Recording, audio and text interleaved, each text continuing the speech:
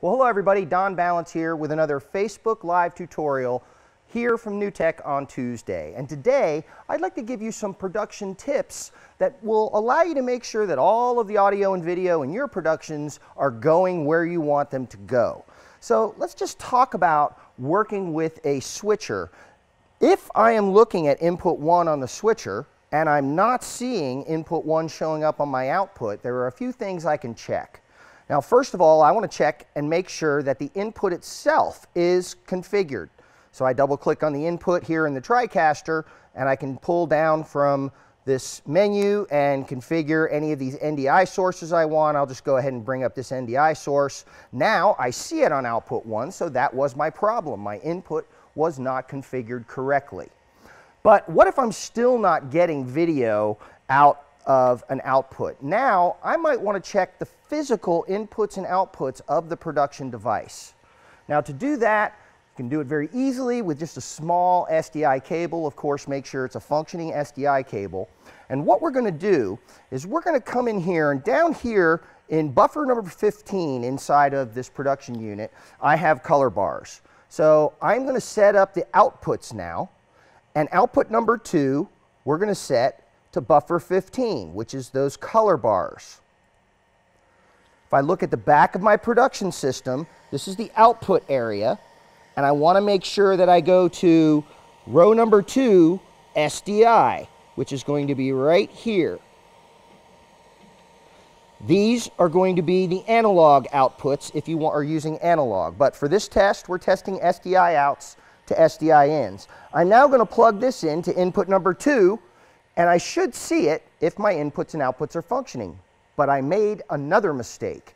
And that is, on the back of a TriCaster 8000, you have a row of AES EBU connectors above the SDI connectors. And it's a very common mistake for people to plug SDI into those thinking that's the SDI connection.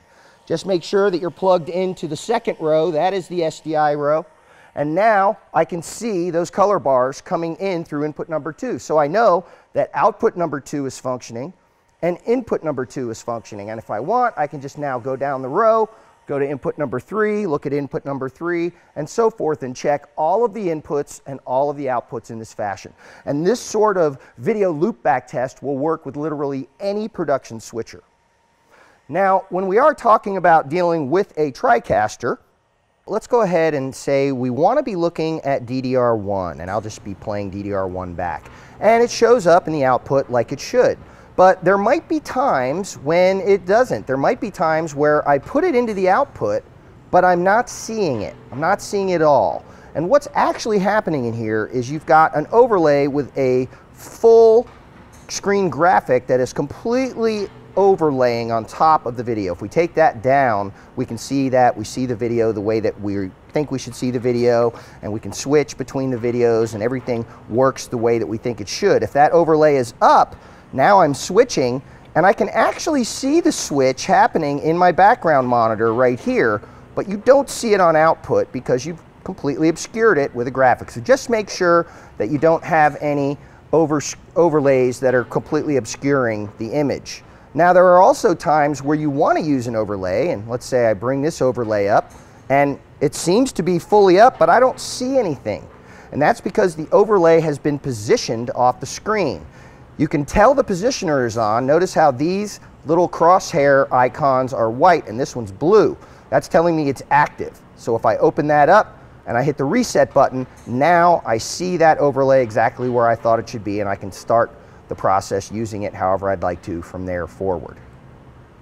Now, another thing that can happen to us when we're using the TriCaster is the preview might not look the way we think it should. Now, I've set the preview here and I'm changing things on preview, but I'm not seeing preview change.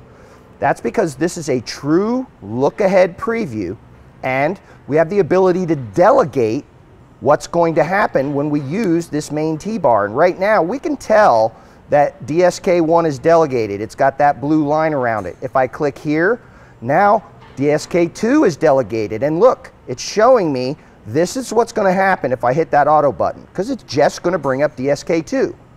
So to make sure that I'm back at what I would consider a normal mode is clicking on this monitor right here, and this sets you to the background mode. There's also a background button on your control surface, which will set you back to the background mode. And now preview and program start functioning the way that I would expect them to. Well, I hope this tutorial has been helpful to you. If you have any comments or suggestions on other things you'd like covered, please put them in the comments below. And we'll see you again for another live Facebook Tuesday tutorial. Thanks for watching.